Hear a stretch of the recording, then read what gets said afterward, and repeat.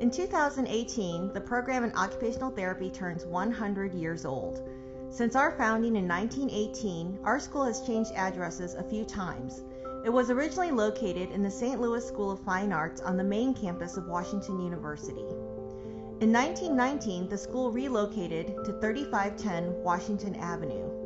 A decade later, the school moved to 4567 Scott Avenue to a building purchased by Dr. Malvern Clopton and presented to Washington University.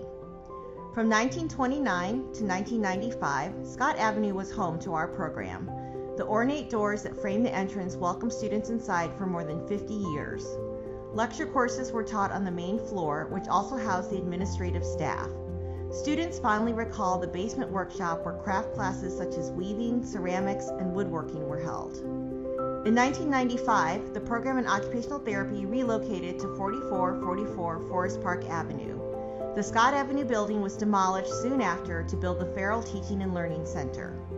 The stained glass windows and signage were moved to the new building, and groundbreaking quickly began for a new 130 seat auditorium. A functional apartment, including a kitchen and bath, was constructed to enable students to learn the activities of daily living in a home like environment. In the 2000s, the program focused on building research laboratories and client centered activities. Space was leased at Paraquad to expand our reach into the community. The auditorium was remodeled in 2012 into a fully accessible interactive learning space. Today, the program welcomes more than 90 new students each fall.